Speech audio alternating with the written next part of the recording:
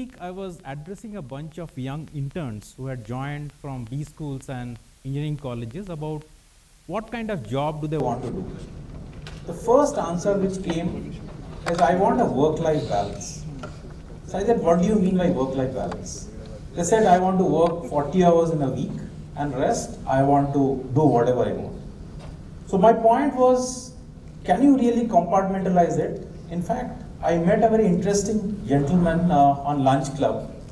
If you look at it, the opposite of life is death. And when you're talking about work-life balance, is work that bad that we are equating it to death? I think this is an interesting area which we have to look at that you can still have a job and you can still do a lot of other things. A lot of us are not really lucky to have a job which is close to our heart. But the way I look at it, Sunil Gavaskar, one of the greatest batsmen India has ever produced, he said that in a 50 over match, there will be one or two bowlers who are unplayable. While the other 35 overs, you can actually make a lot of runs. So if you start treating life that it's an amalgamation of so many other circles, I think at the end of the day, you will lead a fruitful life. But what matters at the end is I want to be happy. So if I look at it, are you happy at work? Now, it's a very interesting study which was done by Gallup. They said 60%, yes, 60% of people today are unengaged in work. 45% of people have high levels of stress. In fact, an Indian survey said that 86% of people, they want to quit their job in the next six months. McKinsey says globally, 40% of people want to quit their jobs. But do understand that if even if you quit, you will do what? Because it's fantastic that you are financially independent, but again, no amount of money is enough. It's not like PC Sorcar's Water of India that you will go and delve. Because do understand that finally you are eating into your savings.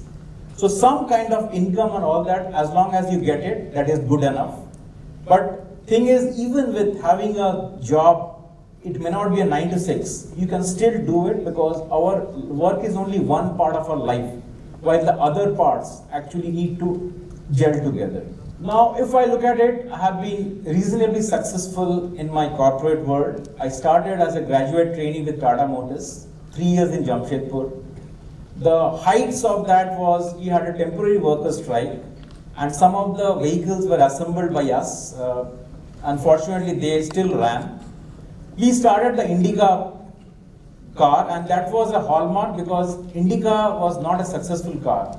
But the way it looked at it, it changed the entire marketplace.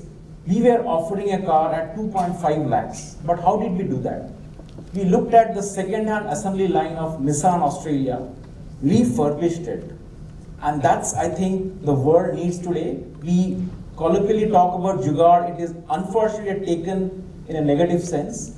But do look at it, what the world needs today is Jugaad. Because at the current state, to support one Earth, we are actually using 1.8 Earths. It's not the resource depletion, it's the rate of resource depletion which is of concern. So if you look at it, this is what I have been doing over the last few years. Uh, again, when I moved to Lafarge, again, cement sales is not a very great job to me because you deal with people who have a lot of financial muscle, who have a lot, are into armed conflict. But the way I look at it, I look beyond jobs. I learned what is rural India. I spent a lot of time in the Naxalite belts. I was in Chhattisgarh, Odisha, and actually saw what India is. So I think that was a huge, uh, big thing for me because I at least started appreciating how other cultures are seriously moving. Now, this is again an experiment which we started. I am in Hyderabad for the last 18 years.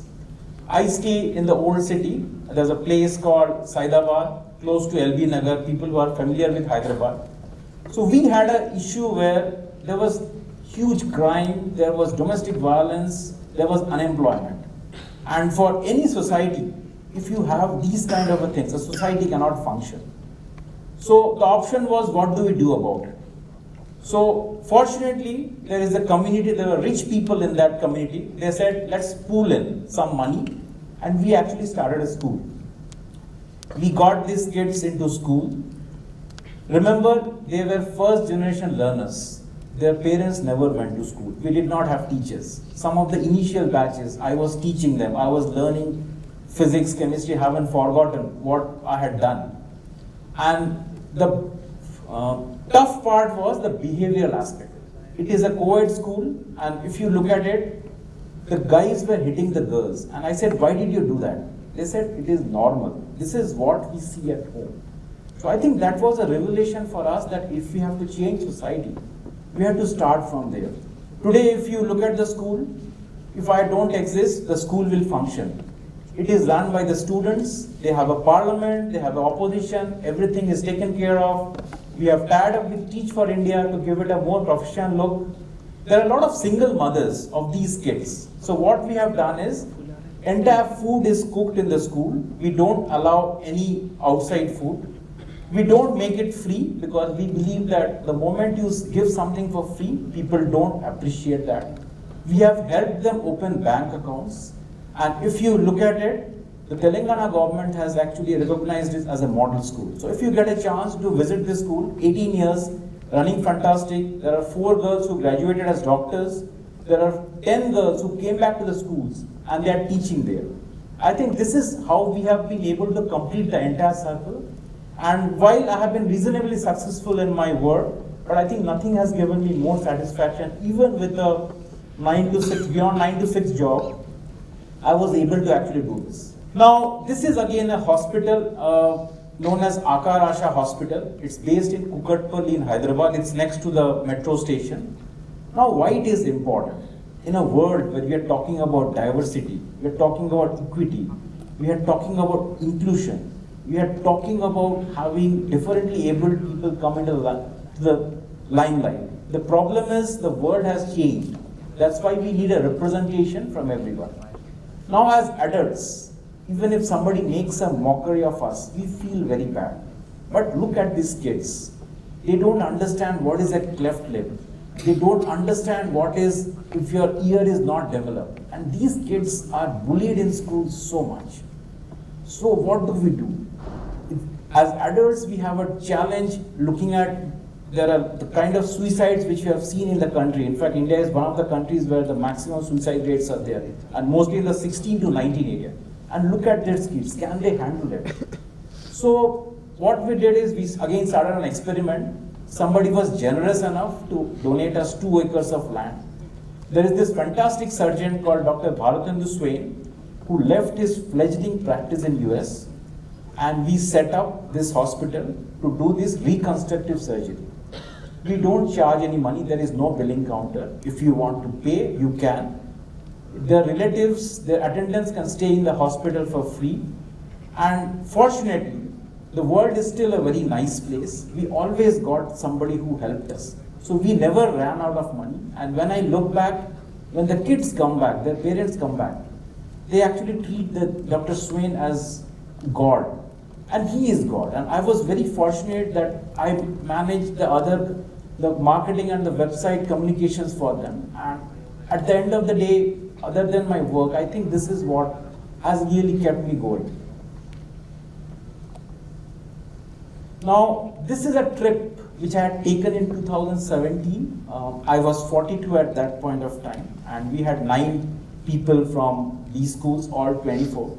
So we, we decided to do a 11 day trip to Everest Base Camp.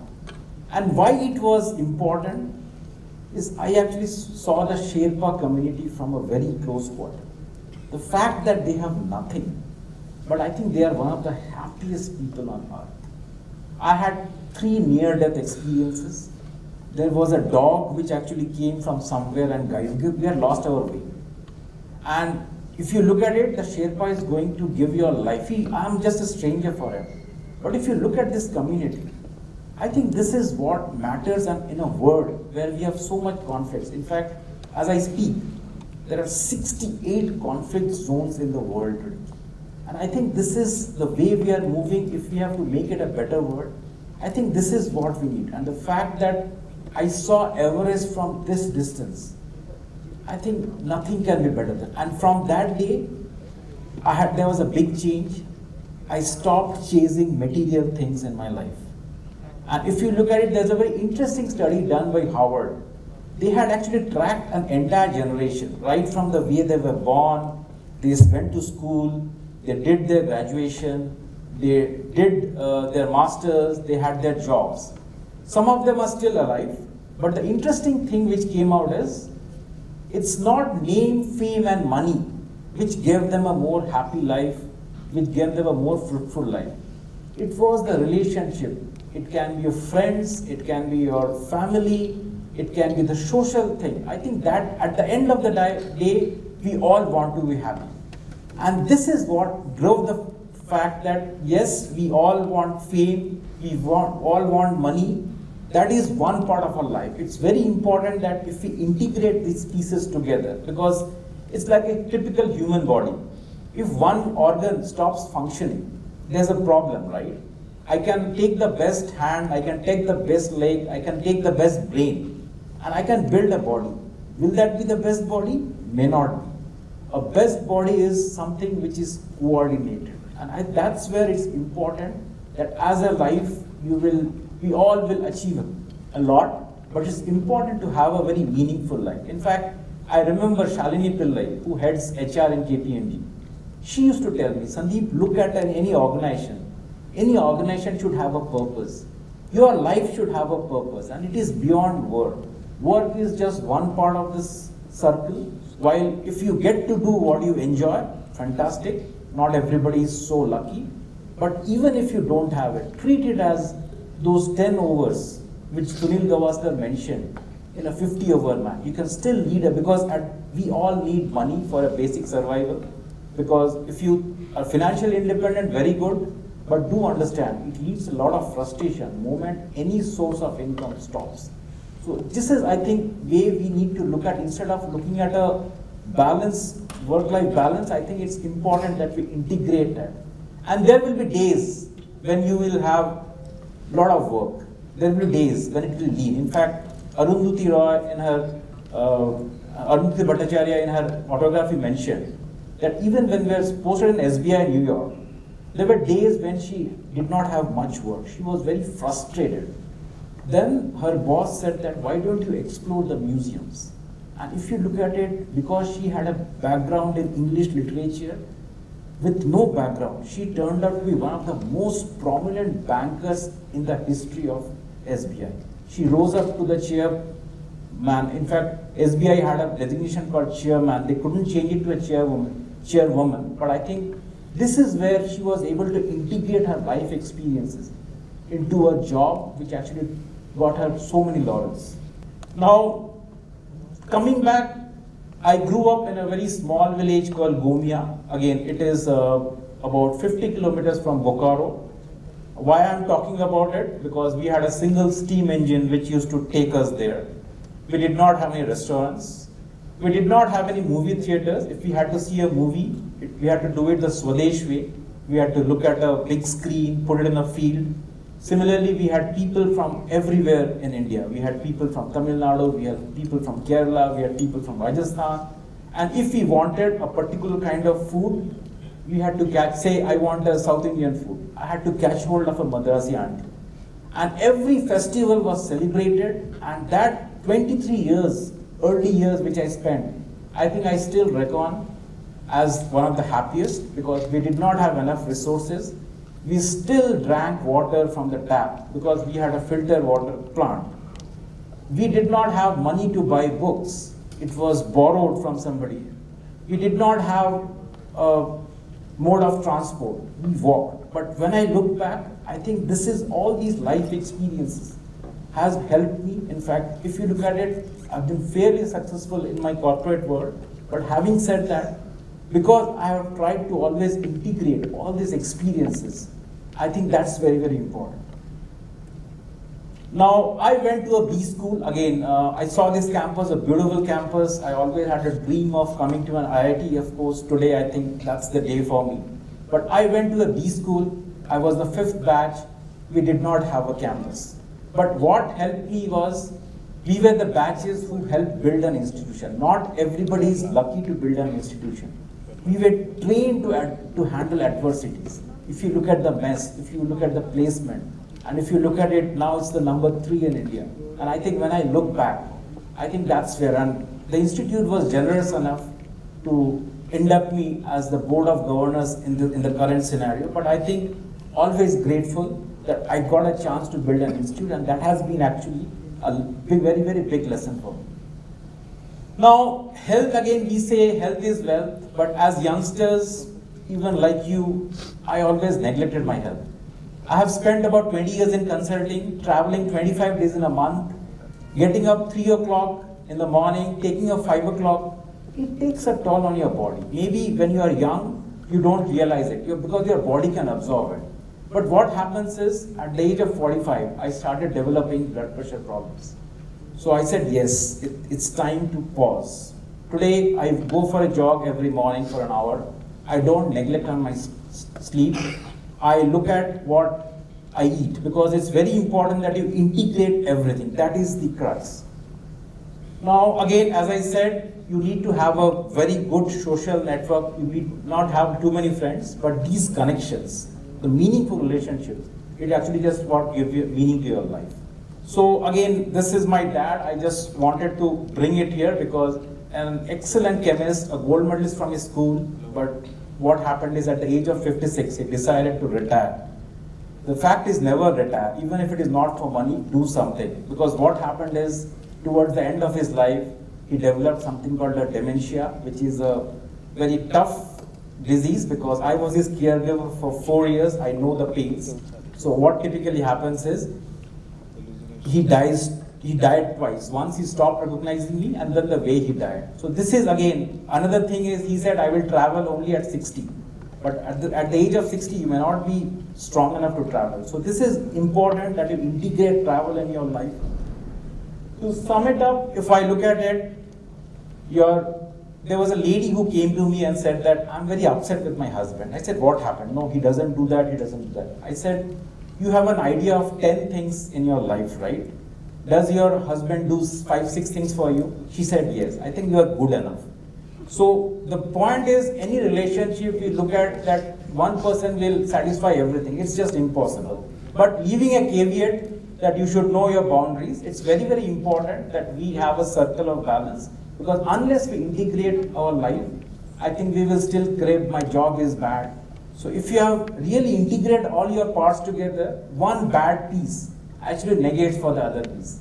Ladies and gentlemen, thank you so much for your time. It was a privilege and honor to be here. Thank you so much.